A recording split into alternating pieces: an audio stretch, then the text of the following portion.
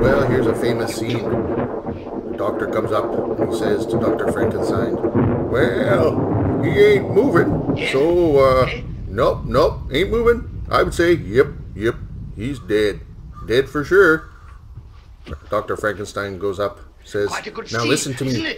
I've told you guys, if One something's not moving, crazy, it must not be alive, because one of the characteristics of living things is that it must be moving. Right? It must be moving. So he stares at his apprentice Igor and says, Let's jolt him. Let's move him up to the top of the roof. Even though he is dead, as confirmed by the doctor, because it is not moving, so it must be dead. And he is not breathing, so he must be dead. Because a characteristic of living things is that they must be moving, correct? And he says to his class, Now some of you think that because something is not breathing, it must not be alive. Because breathing and moving are characteristics of living things. I will attempt to revive him by jolting him with many, many volts of electricity. Normally, this would kill someone, but in this guy's case, it will bring him to life. It's alive. It's alive. It's moving. It's alive. It's alive. It's alive. It's alive. It's alive. Hello, everybody. I am hoping that you liked that little video, uh, little Frankenstein video. I wanted to review a couple of things from our last lesson. And the last lesson that we did was talking about characteristics of living things. And uh, I showed that little video because there's two mistakes that students make really, really often when it comes to this. And um, two things that they say sometimes about naming whether or not something is alive. And usually by the time the end of the unit rolls around, they forget this part. But um, remember the characteristics of living things. All living things are made of cells. All living things will reproduce after their kind, pass on genetic material. All living things have a need for and a way to produce energy. They produce wastes, etc. One of the things that there's two things that students often get wrong, and uh, those two things are number one, they say in order to be alive, something must be breathing. Breathing. But that's not true because plants don't breathe.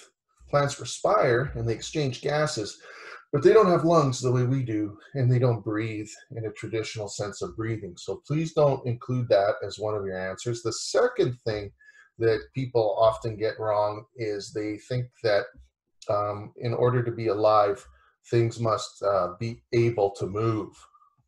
Be able to move.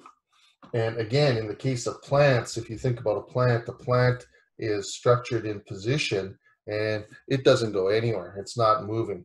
So a, a plant uh, does not move. Uh, it might sway in the wind, the leaves might fall to the ground because of gravity, but it doesn't move. So these are two mistakes. Now, getting on with today's lesson, I'm here with uh, Rocky Balboa in the background. My daughter did that. That's actually duct tape art. Like to switch the pictures up for you guys so you can kind of tell the difference between things, little visual uh, reminders and such. And um, where's this paper? What is that? I don't know. Um, the birds are chirping outside. I got my coffee today. Today's coffee mug is the teacher of all things mug.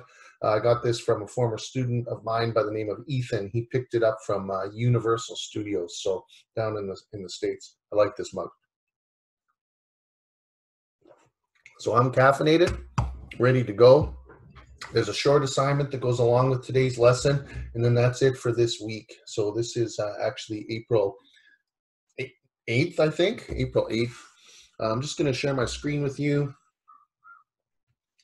A new little trick that I learned how to uh, how to do. Um, it's not always working out the way I would like it, but uh, a lot of times it does. And uh, hopefully you're going to be able to see uh, my screen popping in here so that you can see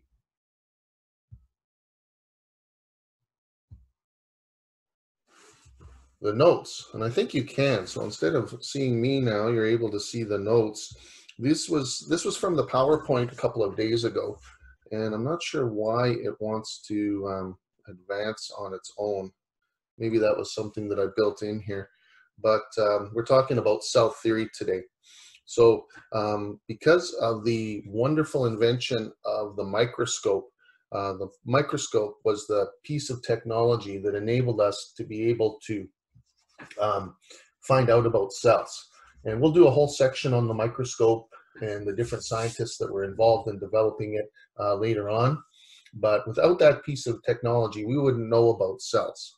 Now, in science, when we say theory, a cell theory is actually, hmm, no, I'm wondering, is this recording? Uh, oh boy, I hope it's recording. I'm not sure if it is or not, to be honest. Um, I don't know if it's rec recording the shot, but at any rate, um, yeah, at any rate, um, cell theory uh, is something that uh, continues to grow and develop because we have different types of um, microscopes now. We have different technologies, and there's uh, we're still learning about cells all the time. And you can imagine right now with the COVID-19 virus going around, uh, you can bet for sure that one of the things that they're looking at under microscopes uh, 24 hours a day, seven days a week, is how human cells respond and react and interact with the COVID-19 virus. Um, there are some things that have to do with cell theory. So without the microscope, we would not be able to um, know what types of things are, are out there. Uh, here are some pictures of some cells I've seen under uh, different types of microscopes. So there's different types of microscopes. Like I said, we'll get into that down the road. Uh, blood cells, these are human blood cells. You can see they kind of look like flattened out pancakes with a little divot in the middle. There are um, cells like plant cells. And plant cells, you can tell these ones under a microscope, they um, are generally uh, boxier, a little bit more rectangular in shape. They've got some special characteristics, which we'll also learn about down the road. Here's some plant tissue. So if you remember from the lessons this week, cells, when they come together, they make tissue. And if you take a really close look inside here, you can see there's different kinds of tissue along the outside edge uh, compared to the inside edge. And that's because even in plant cells, not all the cells are the same. There's specialized ones that do different jobs. There's some cardiac tissue and these are probably muscle cells inside of some kind of a, a, a, mammal or human being. You can see all the little nuclei packed in here. Another type of cell you might have heard about are stem cells, and stem cells are uh, becoming more and more uh, prominent in the news over the last 20 years because stem cells are kind of like blank canvas. They are um, the, the blank canvas that other cells can develop from. So you can kind of think of a stem cell as being a um, think of a stem cell as being you know uh, a cell with the potential to become any type of cell it wants. And um, depending on the structure and what kind of influence it it um, undergoes from its environment or because of the instructions in the DNA Oh, it's garbage day in my neighborhood. I hope you hope that's not too loud for you. I hear lots of crows out there and lots of the garbage truck is pulling up. That's kind of kind of noisy. I'm gonna close my window. There we go. That's a little bit better. So uh, depending on the instructions that a cell gets, it might develop and grow, like we talked about um, the other day, into maybe a nerve cell. So a nerve cell can um, start off as potentially a stem cell. But if the instructions are different, it might grow into um, a different kind of cell. You know, it might grow into a more long and striated muscle cell or something like that. Um, there's other types of cells and there's other type of microscopes. So this is uh, an image from a more powerful type of microscope called an electron microscope. And again, there's different types of those, but we'll get into which kind. That was a picture of a cell dividing. And here is an even closer view of some cells uh, creeping up. And that is a picture of what I'm probably going to go have for lunch later on today a nice peanut butter jelly sandwich. What does that have to do with what we're learning? Nothing. Absolutely nothing. So there's four parts of cell theory. Okay, modern cell theory basically has four parts to it. Now there's two parts that the other ones are um, kind of grow out of. And the two most important parts of the cell theory are this. Number one, all living things are made up of cells. Now make sure you remember that that doesn't mean all things are made up of cell of cells. It's not all things are made up of cells because the garbage truck that went by is not made up of cells. Remember, it's made up of atoms. It's part of it's it's made of matter, but it is not made up of cells. You have to make sure that you understand that it's living things, plants, animals, unicellular organisms like amoeba and paramecium. Those are made up of cells. So if something is alive, the number one thing that has to do with cell theory is that it is made up of cells. And the second most important thing that you find in every description of cell theory is that all cells have to come from somewhere. All cells come from pre-existing cells. And if we go back to a picture, over here, you can actually see in this picture that this is a picture of a cell about to divide. So that type of cell, I'm not sure what kind it is, but that's a close-up picture of the nucleus within the cell uh, having already dissolved and the chromosomes or the genetic material inside the cell splitting apart and getting ready to become uh, two new cells. The other two components of the cell theory kind of grow out of those two. So the first one is all living things are made up of cells. The second one is all cells come from pre-existing cells.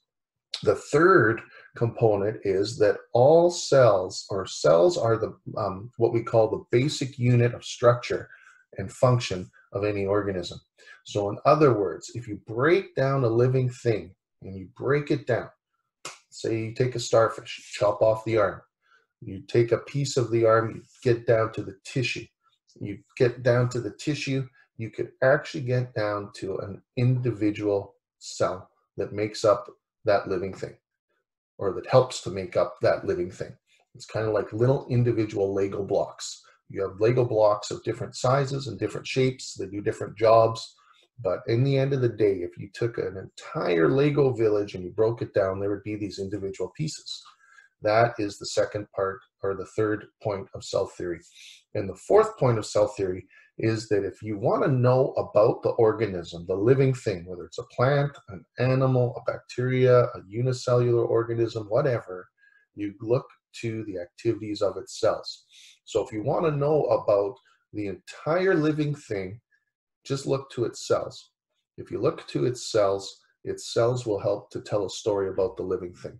I'm going to stop sharing my picture now. Uh, I'm not sure how to do that. Oh, here it is. Uh, stop the share. So we're back to the normal um, view here. Hopefully you can see all this. So there's a short assignment that goes along with this. I hope you were paying attention today. Rocky and I hope that you were paying attention today. And um, I hope that you uh, have a great day today. That's it for science this week. So, what should you be doing? First thing you should be doing is try to start with this week's unit. Go back to the videos and the lessons from Monday and move all the way forward with those short assignments. Get done what you can get done with this unit. Have a good long weekend. It's Easter weekend. I can't believe it. It doesn't feel like it's Easter time yet, but have a happy Easter. Take the weekend and if you have some time to get caught up on some of the optics assignments, go ahead and do that. But don't do things from January and February. Pick up with the assignments from March, slowly get them in. I'll be looking at them and giving you feedback. Um, if you have any questions, make sure you send me an email or send me a message on that assignment on Google Classroom. Thanks a lot, you guys. Have a great day.